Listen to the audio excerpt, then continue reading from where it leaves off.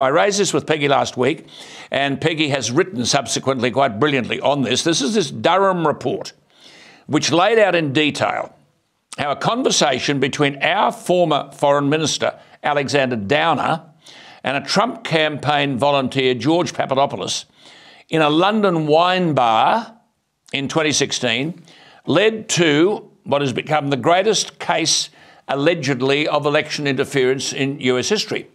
So the FBI seized on one paragraph where Papadopoulos had said that Russia could help the Trump campaign with the release of information damaging to Hillary Clinton. The FBI didn't question the information.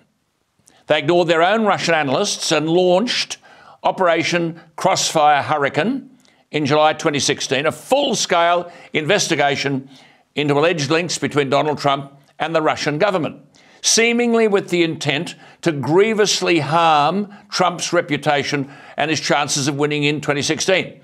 Now, Peggy, this was all a fabrication. Seriously, shouldn't someone be in the dock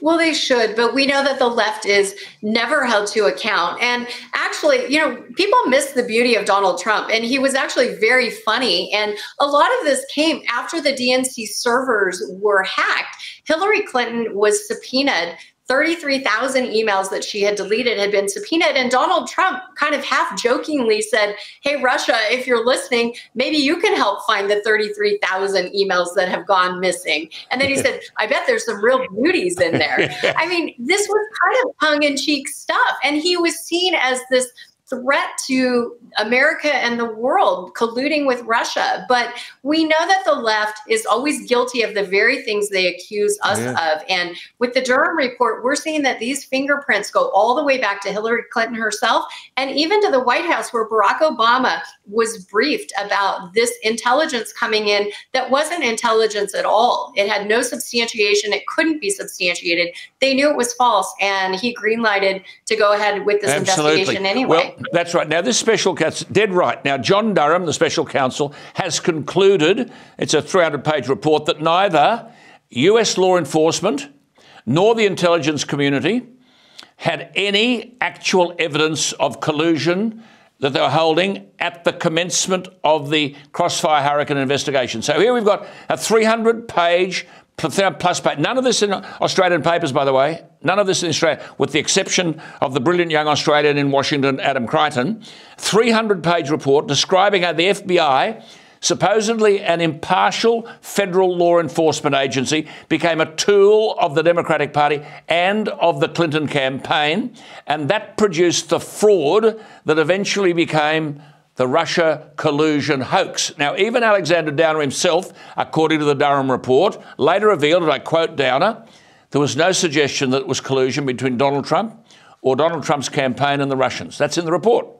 Downer is quoted.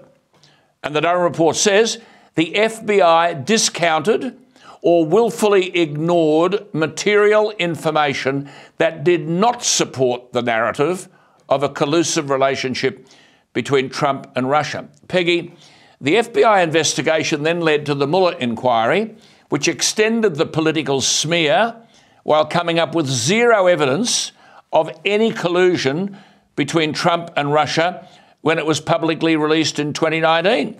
And there's still no evidence seven years later. What the hell is going on with the institutional framework in America? Well, it's very frightening. And even the left, the media on the left, can't ignore this anymore. And even some Democrats in Congress are concerned about this. This past week, there was information released that these FISA warrants um, that go out where you can spy on, it's a foreign intelligence um, surveillance court, they can get these warrants, and it's meant to be to spy on international foreign um, actors. But 270,000 times information was collected on Americans without warrants. And so, as the FISA court looks to renew its um, verification from Congress, Congress, even some on the left, are saying we're not going to do it because they not only went after information that was unfounded on Donald Trump, but at the same time, they ignored factual information that was against Hillary Clinton, the Clinton campaign, against her campaign finances. And so the scales have been tipped going after Donald Trump with unfounded information and ignoring a mountain of information against Hillary Clinton mm. and now against Joe Biden and his family as well.